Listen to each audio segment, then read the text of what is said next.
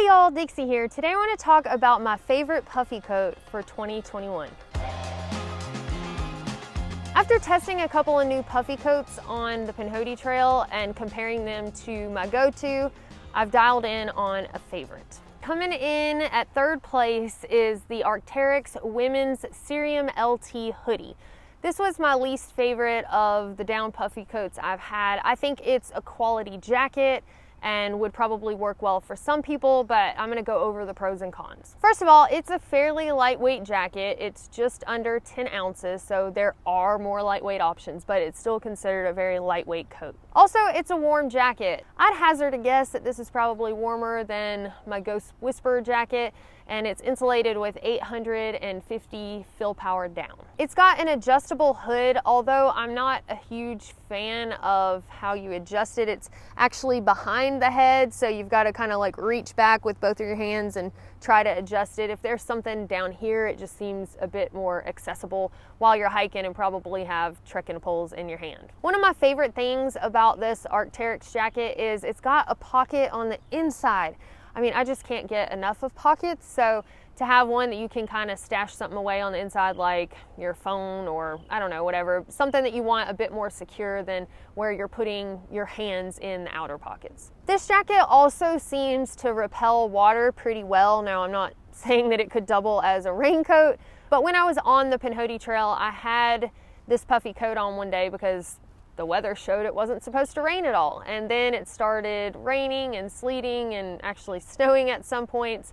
And I was on my last day of that stretch, so I knew I was about to go to town. So I just left it on and used an umbrella to help shield me from the weather. And then I think I finally put on my rain jacket. But anyway, it definitely got some drops on it, some snowflakes and things like that. And I was able to just kind of brush it off and I never got soaked. So while I wouldn't put yourself in that situation of getting your puffy coat wet in cold weather, if you find yourself for some reason in that situation, like the bottom drops out and you start getting rained on, I think it's something that you can shake off pretty easily while you're trying to get it put up. And finally, there are a lot of color options. Although if you go with one of the lighter colors, be warned that I've seen some reviews that say you can see some of the darker down feathers inside the coat.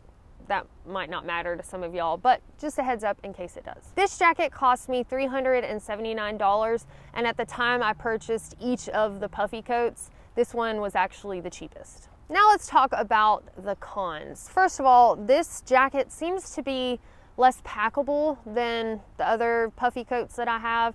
It just doesn't compress down as much. It's not like it takes up a ton of space. And again, I think it's still a fine puffy coat, but in comparing it to the other options, it was the least packable. What was a complete deal breaker for me is it was just a bit too short. I mean, it fit fine, but the other puffies I had were longer. They seemed to fit my body style better. I'm a tall person, I've got a long torso.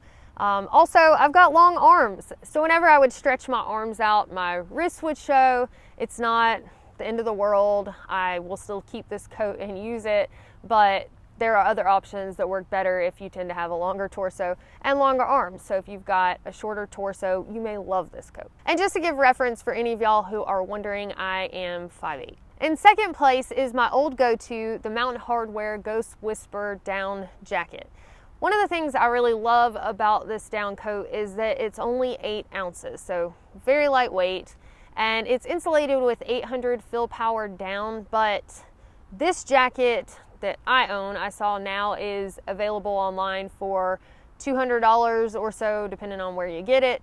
When I got it, it was probably closer to $400, but I think that that's because they now have an option for 1000 fill power down, so it might be interesting to try that one out and see how it compares to the first place coat I'm going to talk about, but now I'm getting ahead of myself. That 1000 fill power coat is available for $375. The Ghost Whisper jacket fits me well. I feel like it could still be a little bit longer, but I never had any complaints about it not covering my torso completely. I've used this puffy coat. I actually had two different ones because I had just really mutilated one of them. I had a bunch of uh, burn holes in it from sitting too close to a campfire and always pick the unlucky spot. So I had patched it up with some gear tape over the years and I ended up getting another one. But over a span of 6,000 plus miles or so, I've had two of these down jackets. So it's tried and true and I believe in them. And finally, the Ghost Whisper packs down into a really small ball so it's not gonna take up a lot of space in your pack. The only thing that I would really consider negative about this jacket, other than it could be a little bit longer, is that the hood is not adjustable. So there have been times where I'm hiking, I've got the hood on, and it's just, I don't know, either it's really windy and it's hard to keep the hood on, or um, I just want to trap more warmth around my head and it's just not something that you can cinch down. And finally, in first place for my new favorite puffy coat is the Montbell Plasma 1000 Alpine Down Parka. I don't know how I just got that, but I'm really excited that I was able to remember the full name. As soon as I put this coat on, I was like, whoa. I knew that it was the puffiest of all puffies I'd ever had and it was just instantly obvious how warm it was. It's insulated with 1000 fill power down and has a two-way adjustable hood so not only can you cinch it down around your face but also like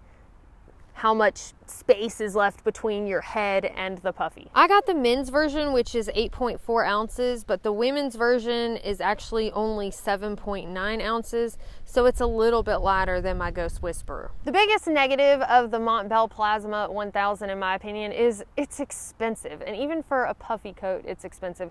It cost me $440. And I guess another con for somebody who's not as cold natured as I am is it could be too warm. If you find yourself backpacking in colder temperatures and when you get out of the tent in the morning, you want to start with a puffy coat on until you kind of get warmed up.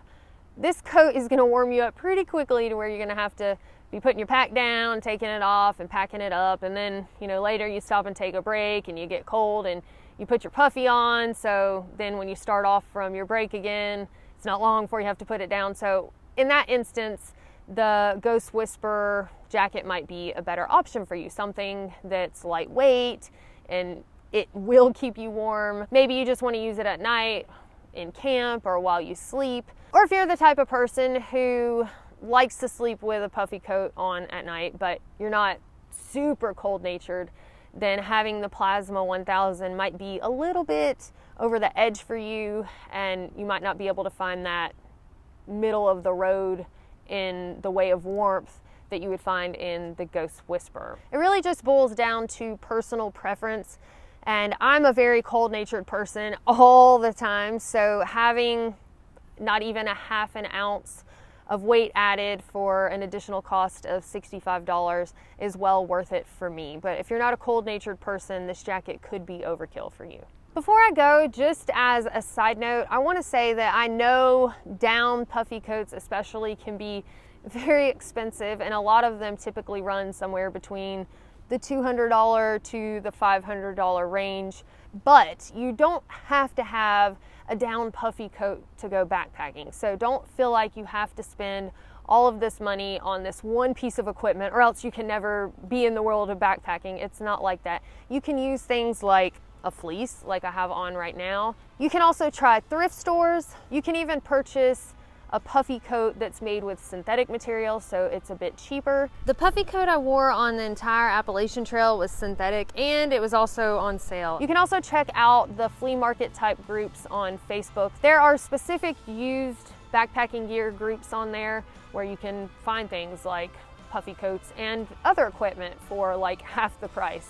And then REI often has yard sales. I believe they happen once a month or so. So if you live near an REI and you're an REI member, then you can go in and maybe it's something somebody wore for a little while and they weren't crazy about it, so they returned it. REI will put that stuff in their yard sale and it's usually at a very discounted rate. Well, anyway, that is all I have for y'all today on puffy coats.